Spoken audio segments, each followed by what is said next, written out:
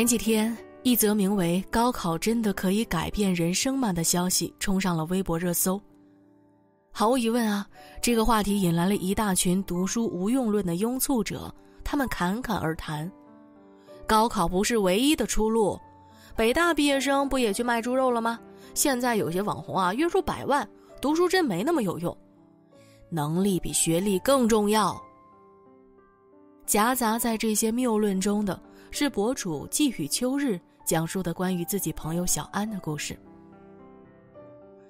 我的朋友小安一直是很上进、很努力的女孩，作为留守儿童，她从小就缺少父母的疼爱，因为家里穷，也吃了不少苦，贷款上了重点大学。幸运的是，她从事了这几年正在风口浪尖上的自媒体行业，也因此赚到了第一桶金。我们后来重聚，他望着窗外，陷入了沉思。我拍了拍他，发什么呆呢？他看着我笑了笑，说：“我在想，如果我没有参加高考会怎么样？可能在我们家乡的小县城打工，卖衣服或者端盘子，月薪三千都够呛。”讲完这个故事，他反问道：“你说，高考可以改变人生吗？”我不知道高考是否真的可以改变人生，但我知道，读书无用论再上热搜的背后，藏着的是关于学历的三个扎心真相。你若看清学历，生活就会看清你。张雪峰和马丁曾在我是演说家中讨论过学历这个话题。马丁认为，相对于考研来说，最重要的对于年轻人的晋升之路是工作。张雪峰却说：“考研不是唯一的一条路，但它是非常重要的一条路。几乎所有的五百强企业都告诉你学历不重要，但是他们不会去齐齐哈尔大学招聘。”一语中的。毕竟生活的真相就是，多少你向往的地方都标着条件，本科及研究生均毕业于国内九八五院校，一切珍贵的机会都以本科为起点。所以。你若觉得读书无用，就只能变得平庸；若只把学历当废纸，就只能当一个废物。前些天，发小阿良发了一条朋友圈：“真后悔啊，为什么当初不好好读书呢？”我急忙问他怎么了，他告诉我说，自己接连三次求职都因为学历低而被拒绝了。在第一家公司，我实习都满三个月了。即将转正时，却因为学历不符合要求被辞了。在第二家公司，部门经理很看好我的，但是一看我的学历，犹豫再三，还是拒绝了我。到了第三家公司，HR 看到我是高中学历，直接把简历扔进了垃圾桶。没办法，我只能在工地找了份工作，每天起早贪黑，忍受风吹日晒，却不想最后赚到的钱连房租都交不起。说到这儿，阿良眼中早已噙满泪水，而我也感慨不已。这世上从来不缺像阿良这样的人，年少时觉得读书无用，等到经历了社会的毒打和人生的残酷后，才知晓学历无价。更有甚者，因为看清学历而赔掉了自己的整个人生。人到中年，走过许多因为读书少而在现实世界中处处碰壁的路。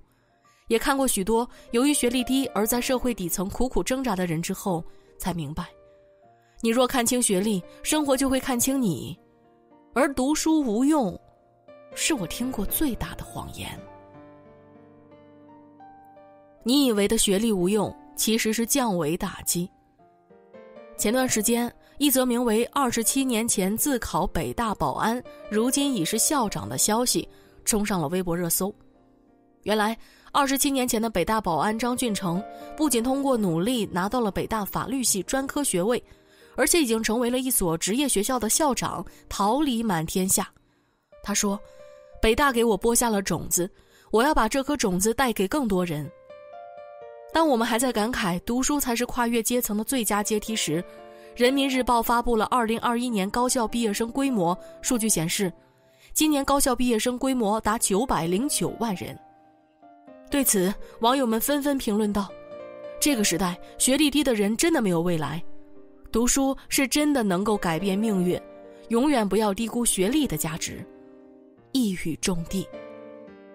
以前总觉得读书不过是一项可有可无的消遣，学历不过是一张华而不实的废纸。直至踏入社会，吃过低学历的亏，尝过读书少的苦之后，才知晓，很大程度上，学历代表了你贵不贵，读书决定了你 low 不 low。而这世上可怕的事就是，最怕你又穷又 low，还嫌学历无用。多少人觉得读书无用，于是放弃精进，最后被社会压成咸鱼，再也没能力遨游人生的瀚海。又有多少人不信学历无价，白白浪费天资，最终被生活打入冷宫，再也没有机会获得命运的青睐。他们不知道，一个人不屑学历的样子，最容易暴露他格局不高的事实。他们不明白，关于读书最大的谎言，就是学历无用。而高层次的人都懂得学历无价。要知道，若生活是风，读书就是你登临绝顶的青云梯；若人生是路，学历就是你踏破山河的谢公机。而你以为的学历无用，其实都是降维打击。所有的高学历闻起来都是钱的味道。不久前，国家统计局公布了这样一份应届生底薪表。数据显示，同样是应届生，大专比初高中月薪平均高八百九十元，而本科又比大专月薪平均高一千五百元。对此，有人感叹：“所有的高学历闻起来都是钱的味道。”无比赞同。还记得那张囊括了互联网巨头们的名为“乌镇局”的照片吗？他们无一不是出身名校，身披学霸光环。王兴被保送进清华，刘强东是宿迁高考状元，马云经历三次高考也要上大学，俞敏洪考学好几年终于进北大。知乎上有个问题：学历对一个人到底有多大影响？有个高赞回答是：它是最公平，可以选择未来生活的权利，可以跨越阶层，对抗后门与关系。普通家庭孩子想改变现状、提升阶层，一定要抓住这个机会。学历是真的能改变命运，而这个世界正在偷偷嘉奖学历高的人。君不见北大才子卖猪肉，开出了一千三百家连锁店，年销售额破十二亿。君不见西安外国语大学双语硕士做保姆，雇主开出两万元以上的月薪。君不见海归硕士转行收废品，月收入超过三万。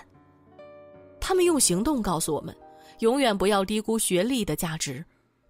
而所谓学历的价值，就是，哪怕你跌落哀途，满身风尘，它也能让你在哀途里开出一朵风华绝代的花来。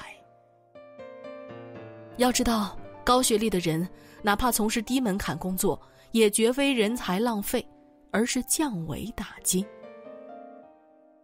曾在书中看到过这样一句话，觉得颇有道理：学历就是过滤器，在开始之前就过滤掉对手，无关能力。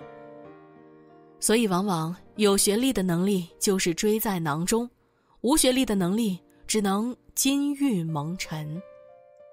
所以，永远不要低估学历的价值。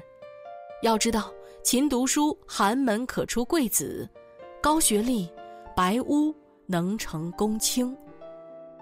往后余生，愿你以书为舟，自渡人生苦海；愿你精进学历，无惧生活刁难。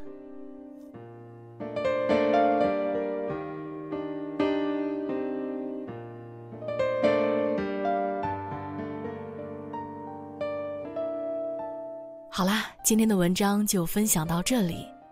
读书是通向世界最好的路，也希望每个孩子都能在鼓励中成长，不惧挑战，成为独一无二的自己。